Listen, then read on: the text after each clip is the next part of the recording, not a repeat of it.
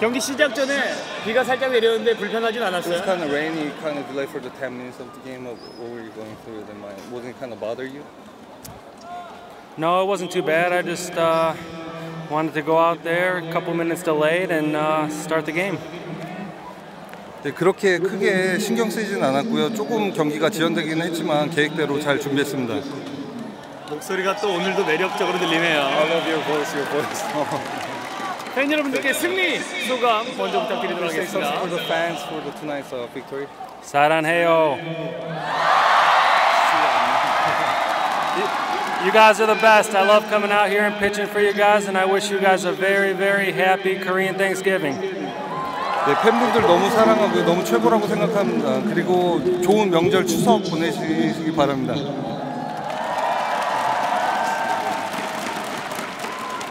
보호된 선수가 사랑의 화면 고백을 듣는 것 같아서 상당히 팬들이 떨려 하십니다. 보호된 선수를 많은 팬 여러분들이 응원해주고 계신데 어쨌든 16번째 승리를 오늘 거뒀습니다. 16th win, everybody starts supporting you. 리포트 선수의 어제 20승, 또 보호된 선수의 16승, 한 시즌 you had a 16th win. 두산 베어스가 올리는 외국인 선수의 최고의 승 기록을 세우고 있는 건데요. KBO, like 16 wins, two tournaments have a 16 wins or more is the first time in a KBO. 보호된 선수의 이번 시즌 잘 마무리되고 있나요? Hopefully, uh, uh, how do you how do you feel about this season? Like almost it's ending up. How do you feel about the season so far? I feel wonderful. Uh, I feel extremely grateful to be here, but I can't give enough credit to our offense. They're putting up runs and they're putting me in position to go out there and win ball games every time.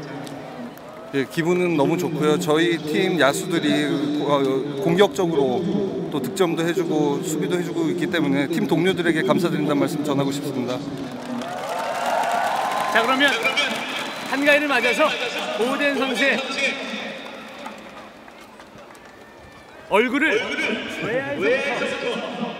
중앙석까지 스캔을 싹 해주시면서 마무리하도록 하겠습니다. Uh, so ending this thing, please look it from the outfield to Yeah. like 손 한번 go, 들어주시고 and try wave your hands for every every fan. 외야부터